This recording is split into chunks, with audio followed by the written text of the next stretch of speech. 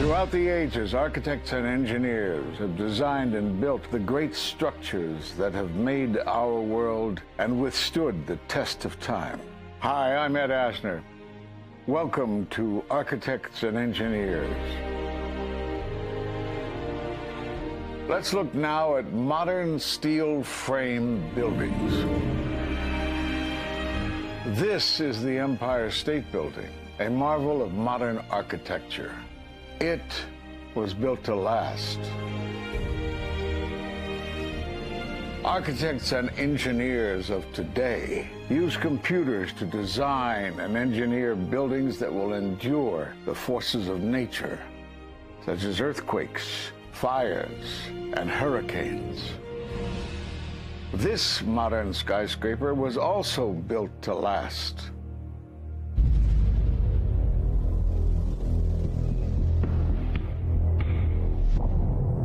We've seen buildings completely destroyed like this before, but only when done intentionally.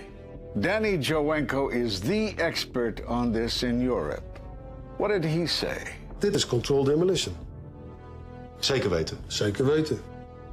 Er is nagesprongen. Dit is in opdracht gebeurd. Het heeft een team gedaan van experts. Let's compare. Explosives are used to demolish buildings like this in just seconds. Okay, so it's a controlled demolition. What's the problem with that? Well, it happened on the afternoon of 9 11 at the World Trade Center. Let's just think about this. Controlled demolitions cannot be engineered and rigged in a day. It takes months. And therefore, this event must have been planned in advance. Keep your eye on that building. It'll be coming down. building is about to blow up. Moving back. We are walking back. There's a building about to blow up. Did they actually use the word brought down, and who was it that was telling you this? the fire department, and um, they did use the word, we're going to have to bring it down. And these people heard explosions.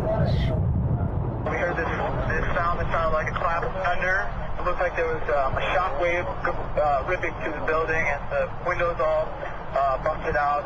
About a second later, the bottom floor caves out. The building followed after that.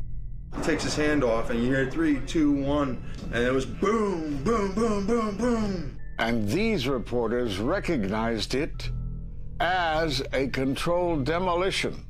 And I turned in time to see uh, what looked like a, a skyscraper implosion. It looked like it had been done by a demolition crew. The whole thing just collapsing down on itself. For the third time today, it's reminiscent of those pictures we've all seen too much on television before when a building was deliberately destroyed by well-placed dynamite to knock it down.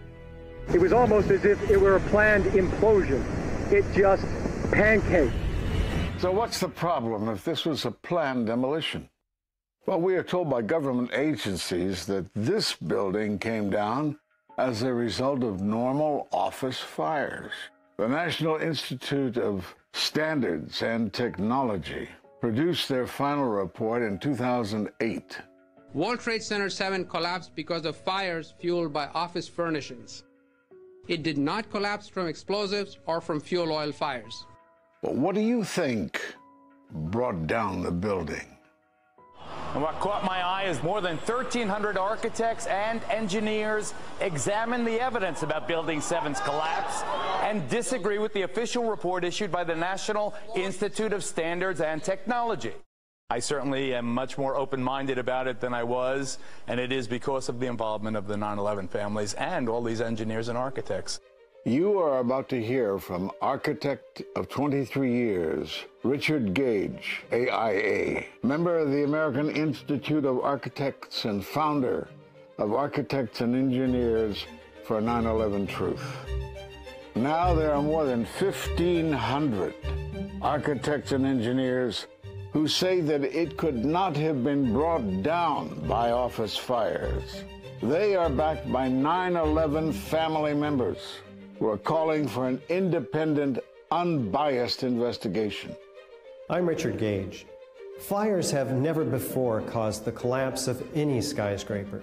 even though there are numerous examples of much hotter, larger, and longer lasting fires in these buildings.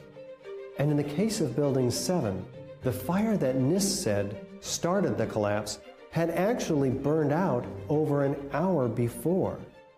It could not have caused the collapse, as NIST claims.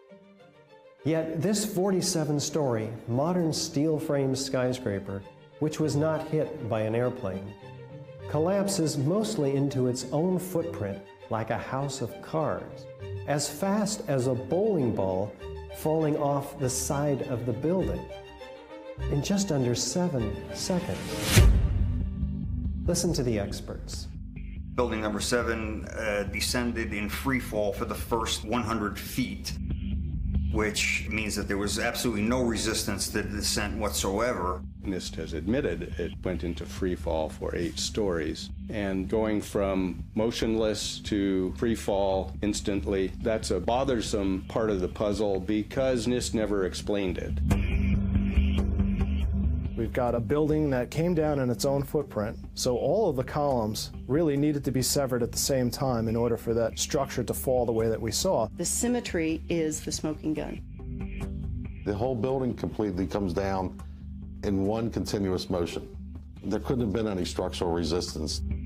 According to NIST, the failure occurred at column 79 on level 12. They're talking about a single columnar collapse or failure that resulted in a total collapse of the building. It is possible that you could have a, a local failure as a, as a result of a, fa- a, connection failing. But the likelihood of the, that failure dragging the entire building in such a fashion that all the columns would fail at the same time is an impossibility. Impossibility? Yes. What I saw, it was a classic implosion. The center of the core, the penthouse area, starts to move first, and then the building follows along with it. I'd like to know why NIST excluded the document uh, from FEMA in Appendix C that documented the evidence of melting steel. Why is this forensic evidence not being included in the report? In an office fire, you cannot generate enough heat to melt steel. And yet we have evidence of molten iron. RJ Lee Company, USGS, and Dr. Stephen Jones's work, all three separately found these microspheres. In the dust, we found what we characterize as unreacted thermitic material in the shape of some very tiny red-gray chips, which have different properties. And uh, in the reaction, they produce molten iron, which is the prime indication of a thermitic reaction. And such a reaction can be used to destroy steel structures.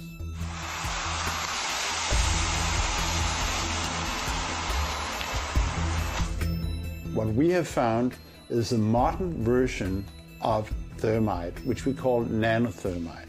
There were these iron microspheres uh, present in all of the dust samples that needed to have been formed in extremely high temperatures. I've independently seen thermitic activity within two separate independent samples of World Trade Center dust. My contention, based on finding thermite residue in the dust, is that it happened before. It didn't happen after in the, in the fires that ensued in the rubble pile afterwards. All the characteristics of the microspheres tell me that thermite was involved in melting those steel beams. So, thermite, if it was present at the World Trade Center and created this molten metal that so many witnesses and photographic evidence shows, would also explain the fact that the fires could not be put out at ground zero. The only thing that uh, is consistent with all of the evidence that we have that could cause such a thing is the use of thermite to cut through the steel. You'd get down below and you'd see molten steel, molten steel running down the channel rails, like you're in a foundry. Yeah. Like lava. Like, like, like lava. From a volcano. Well, the manual gets into thermite, and if it says if you have melted steel or concrete, which we had on 9 11. We should test for it. This fused element of steel, mo- molten steel, and concrete, and all of these things all fused by the heat into one single element. We're asking for an investigation that follows national standards. There's no excuse to not test for this. If terrorists use explosives 93, why didn't we test for them? If all these witnesses heard explosions, why aren't we testing for them? NIST concedes that they found no evidence for explosives. So then we asked them, well, did you look? And they said, no, we did not look for explosives or residues of explosives. So the preconceived notion of NIST is that there's no evidence for explosives, and so there's no point in looking. Uh, that is the most unscientific thing that you can possibly think of. Not to look because you don't expect to find evidence, and in fact, the evidence is overwhelming. They state these conclusions for which there's virtually no evidence, and then they ignore conclusions that can be drawn from the evidence. The Freedom of Information Act request to NIST was denied with the claim that releasing this data might jeopardize public safety. How could it possibly jeopardize public safety? The destruction of evidence was a criminal act in itself. It was already being carted away and destroyed when the FEMA investigators got there about a month after September 11th. You can't do science when you are deprived of the evidence and when your hypothesis is the least valid instead of the most likely. When the most likely hypothesis in, in the case of Building 7 wasn't even mentioned. This is not science. The scientific forensic evidence, ignored by NIST, but carefully reviewed by teams of technical professionals, corroborates the hypothesis of explosive controlled demolition. We've traveled to 21 foreign countries and 32 American cities, bringing this evidence to the attention of the public. And we're backed by 9 11 family members and other concerned citizens who are calling for an independent, unbiased investigation. I'm a family member trying to find out the answers to the murder of 3,000 plus people.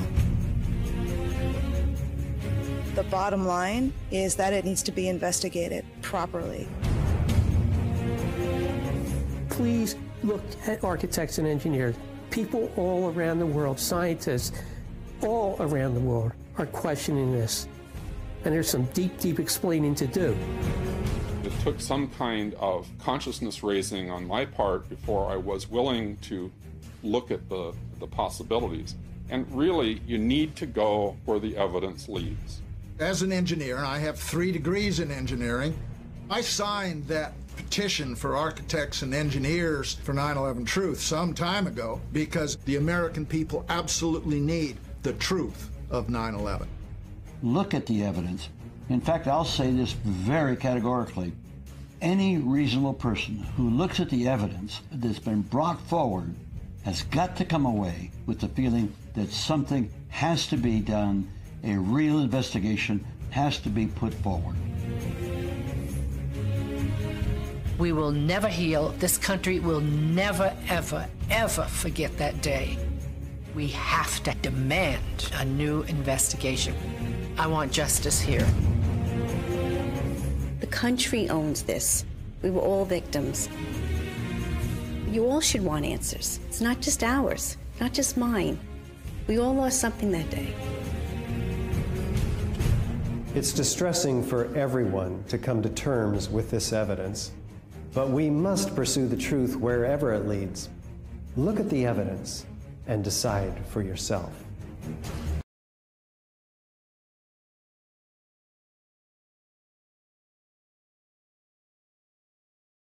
Thank you for watching Dissident 7. If you enjoy my daily videos consider buying me a coffee in the link below.